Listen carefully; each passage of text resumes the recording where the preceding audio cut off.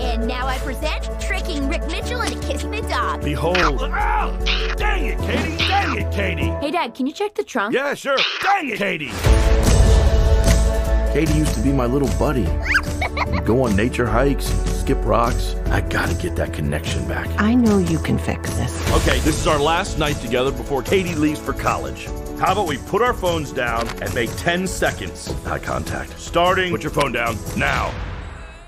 No, you're allowed to blink. It's just eye contact.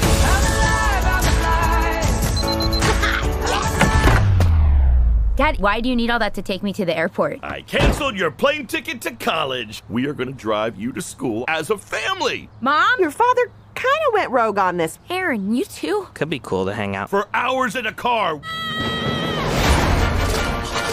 Well, kids, there are supposed to be some great hikes around here. Just a sec, Dad. Get ready. We here a PAL about to drop our biggest invention yet. Meet the Helper Bot, the newest member of the PAL Labs family.